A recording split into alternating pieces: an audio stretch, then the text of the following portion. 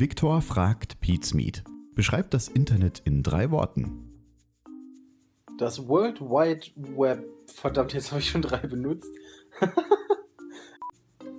World Wide Web. Okay, also ich habe ich hab zwei Worte bisher nur, deswegen sag du zuerst mal. Uh, grave your dick and double click. Porn, porn, porn. Wissen, Gefahr und Spaß. Porn, porn, porn. Ähm, unfreundlich, ähm, äh, aber auch, ja, wie, wie soll ich sagen, wichtig, also beziehungsweise essentiell und zukunftssicher. Porn, Porn, Porn hättest du gesagt. Tatsächlich war das erste Wort, was mir eingefallen ist, auch Porn. Aber Porn, Pete's Meat und irgendwas anderes mit P will ich noch. Pommes.